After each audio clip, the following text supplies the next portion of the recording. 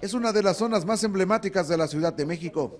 Para muchos representa una parte inolvidable de su vida, donde conocieron a una persona importante o donde transcurrió su niñez. Esa nostalgia despertó la película Roma del director Alfonso Cuarón, así como el interés de millones por conocer este punto de la capital mexicana que fue proyectado al mundo.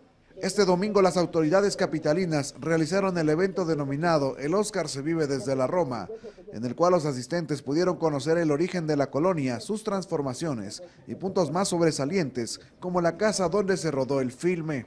Nosotros encantados de que haya esta respuesta de la gente, porque la intención es justo, derivado de este entusiasmo que ha tenido, la, que ha surgido con relación a la película, la gente pueda venir a conocer el rumbo. El punto culminante estuvo a cargo de la Orquesta Sinfónica Esperanza Azteca. Es así como muy importante todo esto eh, y cosa que agradecemos infinitamente el poder estar aquí en ser copartícipes de esta de, esta alegría, ¿no? Estos pequeñitos de edad pero grandes en talento artístico hicieron un recorrido musical por los temas de famosas películas. Yo toco violín y pues llevo desde que inició la orquesta, que creo que son aproximadamente como siete años, y ya desde ese entonces he estado aquí.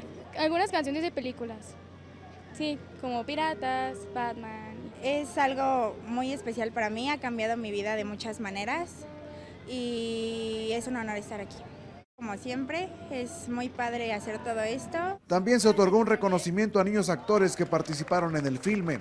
Así fue como transcurrió el día en la colonia Roma, un nombre con nostalgia, historia, pero hoy más presente que nunca y que será protagonista de la noche de los premios Oscar. Ricardo Torres, Azteca Noticias.